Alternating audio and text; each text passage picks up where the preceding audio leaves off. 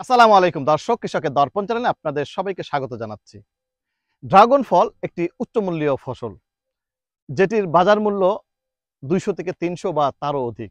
যেটি অনেক লম্বা সময় পর্যন্ত এই ফলটি কিন্তু দিয়ে থাকে। সাধারণত এপ্রিল, মে মাসে এটির ফুল আসে এবং এটা অক্টোবর, নভেম্বর এমনকি ডিসেম্বর পর্যন্ত এটির ফলন থাকে, যেটি চারবার, পাঁচবার ফুল আসে এবং ফল হয়। যেটি বাজার মূল্য যেমন একদিকে বেশি এবং এটি পুষ্টিগুণ সম্মত একটি ফল। তবে এই ড্রাগন ফল গাছ অনেকে লাগাইতে চান বা রোপণ করতে চান। কিন্তু এটি না জানার কারণে যে কীভাবে লাগাইলে এটি সুন্দর একটি বাগান হবে, এই না জানার ভীতিকে শুরু থেকে শেষ পর্যন্ত আপনাদেরকে দেখিয়ে এটি লাগানোর জন্য প্রীতি আসে অর্থাৎ ভালোবাসা আসে, সেটির জন্য আজকে আমরা ড্রাগন ফলের এ টু জেড নিয়ে আপনাদের সামনে হাজির হয়েছি। এবং মজার বিষয় যেটি, কীভাবে রোপণ করলে পাঁচ থেকে ছয় মাসের ভিতরেই আপনার গাছে ড্রাগন ফল আসবে ইনশাল্লাহ তবে চলুন দেখে আসি শুরু থেকে শেষ পর্যন্ত। সর্বপ্রথম যেটি আমরা জমি নির্বাচনের ক্ষেত্রে মনে রাখতে হবে, সাধারণত বেলে দোয়াশ হলে সবচেয়ে ভালো হয়, যেখানে সাধারণত আট থেকে দশ ঘণ্টা সূর্যের আলো থাকে, অবস্থান করে এরকম জায়গাকে নির্বাচন করব। পানি জমে থাকে এরকম জায়গা অ্যাভয়েড করব বা এই জায়গাগুলিকে আমরা এড়িয়ে চলবো। জমি নির্বাচনের পর জমি প্রস্তুতকরণ সাধারণত এই জমির ভিতরে যদি বড় বড় আগাছা থাকে, জঙ্গল থাকে, সেগুলিকে পরিষ্কার করুন এবং সবচেয়ে ভালো হয় দুই থেকে তিনটি যদি চাষ দিয়ে দেন সবচেয়ে ভালো হয়। এবং মনে রাখবেন, এই চাষ দেওয়ার সময় প্রচুর পরিমাণ জৈব সার, হতে পারে এখানে পচা গোবর সার অথবা কেঁচো সার অথবা ট্রাইকোকম্পোস্ট এবং এটির সাথে জিপসাম, টিএসপি এবং ড্যাপ সার দিয়ে এটিকে চার্জ দিয়ে দিন। চার্জ দিয়ে এটাকে বারো থেকে পনেরো দিন ফেলে রাখুন। ফেলে রাখার পর এটির জন্য এখন প্রত্যেকটি পিলারকে আপনি নির্বাচন করুন। পিলার নির্বাচনের সময় অবশ্যই মনে রাখতে হবে, এই পিলারের হাইট হবে ছয় ফিট যার গর্তে দেড় থেকে দুই ফিট যাবে এবং উপরে চার থেকে সাড়ে চার ফিট উপরে অবস্থান করবে। সিমেন্টের পিলার হলে সবচেয়ে ভালো হয়। বাঁশ বা অন্য জাতীয় পিলার না দেওয়াই ভালো। এক পিলার থেকে আর পিলারের দূরত্ব সাধারণত ছয় ফিট পিলার থেকে আর পিলারের সারির দূরত্ব আট ফিট পিলার স্থাপনের পর পিলারের চারপাশের যে মাটি আছে, এটিকে উঁচু করে নেওয়া হয়।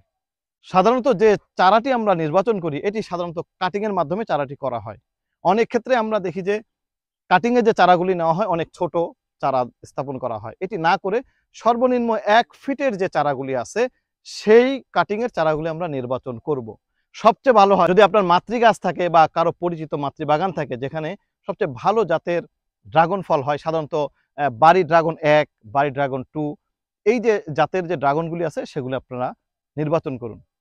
মাতৃবাগান থেকে আপনি ড্রাগন গাছ থেকে ড্রাগনের ডালগুলি আপনি চার ফিট দেখে নিন এবং ড্রাগনের এই ডালগুলি আপনার পিলারের যে চারটি কোনা আছে সেই চার কোনায় স্থাপন করুন। মনে রাখতে হবে স্থাপনের নিচের অংশ সাধারণত পাঁচ থেকে ছয় ইঞ্চি পরিমাণ আপনি মাটির নিচে দিন। লক্ষণীয় বিষয়, স্থাপন করার পর মাটি যদি জ কন্ডিশন থাকে, হালকা ভেজা ভাব থাকে, সেখানে কোনো রকম পানি দেওয়ার প্রয়োজন নেই। তবে মনে রাখতে হবে গোড়ায় পানি দেওয়া যাবে না। সাধারণত দশ দিন থেকে পনেরো দিনের মধ্যে এখানে শিকড় গজাবে। নতুন কুশি বের হলেই মনে রাখতে হবে যে আপনার শিকড় অলরেডি চলে আসছে। এটি যখন উপরের হ্যাঙ্গার যেটি আছে, এই হ্যাঙ্গারটি দেখেন যে চারদিকে দুটি লোহার রড দিতে পারেন তার উপরে সাইকেল অথবা বিভিন্ন টায়ার যেগুলি আছে, এই টায়ার জাতীয় জিনিস চারদিকে পেঁচিয়ে দিন। ভালোভাবে এটিকে বেঁধে দিন। মনে রাখবেন, রোপণকৃত গাছ যদি আপনার এই টায়ার বা হ্যাঙ্গারের উপরে যখন যাবে, এই হ্যাঙ্গারের উপরে গেলে এটিকে কর্তন করে দিন। এতে আপনার চারদিকে নতুন নতুন কুশি বের হবে। না জানলেই নয়, এই নতুন কুশি যখন বের হবে, সেখানে আপনি সর্বোচ্চ তিন থেকে চারটি কুশি প্রত্যেক ডালকে আপনি অ্যালাউ করবেন। পরবর্তীতে এই যে তিনটি ডাল আপনি রাখলেন, পরবর্তীতে এই প্রত্যেক তিন ডালে আবার তিনটি করে ডালকে অ্যালাউ করেন। দেখা যাবে প্রত্যেক তিন ডালে তিন তিরিক্কা নয়টি ডাল এবং সেই তিনটি ডাল সহ বারোটি ডাল আপনার এক একটা কাণ্ডের উপর তৈরি হবে। এতে দেখা যাবে যে চার বারং আটচল্লিশটি ডাল আপনার এক এক গাছে চলে আসবে। হয়তো এটি এক বছরে আসবে না, দ্বিতীয় বছরে চলে আসবে। এতে কিন্তু আপনার বলতে পারবেন আপনার গাছে কয়টি করে ডাল আছে, এটা আপনার কিন্তু জানা থাকবে। একটা ডাল থেকে একটা করে যদি ফল হয়, আপনার আটচল্লিশটা ফল হবে এবং দুটি করে ফল বা তিনটি করে ফলে কিন্তু এক কেজি হয়ে যাবে। সাধারণত আমরা ডাল রাখি বেশি, ফলন রাখি বেশি, এতে ফলনগুলি ছোট হয়, বাজার মূল্য আমরা কম পেয়ে থাকি। কাণ্ডের নিচ থেকে, অর্থাৎ উপরের যে আমরা টায়ার দিচ্ছি, এটাকে হ্যাঙ্গার বলছি, হ্যাঙ্গারের নিচে শুধু একটি মাত্র কাণ্ড থাকবে এখানে কোনো প্রশাখা যদি হয়, সাথে সাথে আমরা এটাকে অপসারণ করে দিব। হ্যাঙ্গার থেকে উপর থেকে যে নিচ পর্যন্ত গাছটি আসতেছে, এটি সাধারণত হ্যাঙ্গার থেকে দুই ফিট নিচ পর্যন্ত আমরা অ্যালাউ করব। তার নিচ পর্যন্ত গেলে এটিকে কর্তন করে দিব। ফুল আসলে সেটিতে আমরা হাত পরাগণ করে দিব। সাধারণত সন্ধ্যা সাতটা, আটটা নাগাদ এই ফুলগুলি ফুটে সেই সময় আমরা হাত পরাগায়ন করে দেব। হাত পরাগায়ন কীভাবে করব? এটির উপর আমার ভিডিও আছে। খুব সহজে হাত পরাগায়ন করে যায়। সেটি আপনারা দেখে নিলেই পারবেন। আমি তারপর আপনাদের দেখাচ্ছি কীভাবে হাত পরাগায়ন করা হয়। পরাগরেণুকে সংগ্রহ করে খুব আলতোভাবে স্টিগমা বা গর্ভমুণ্ডে স্পর্শ করলেই হাত পরাগায়ন হয়ে যায়। সাধারণত ফুল আসার এক মাস পূর্বে ফলের বাট বাড়ন্তর অবস্থায় এবং ফল হারভেস্ট করার পর আমরা সাধারণত জৈব এবং রাসায়নিক সার দিয়ে থাকি। এই ড্রাগন গাছটি পানি এবং খাবার দুটিই পছন্দ করে, তবে পানি জলাবদ্ধতা সে পছন্দ করে না। সাধারণত তিন মাস অন্তর অন্তর এটিতে জৈব সার হিসাবে আপনি মুরগির বিষটা জৈব সার হিসাবে অথবা কেঁচো সার দিতে পারেন এবং পটাশ লাভিং প্লান্ট বলা যায়, এটিকে পটাশ সার পছন্দ করে, পটাশ সারের পরিমাণটা বাড়িয়ে দেবেন।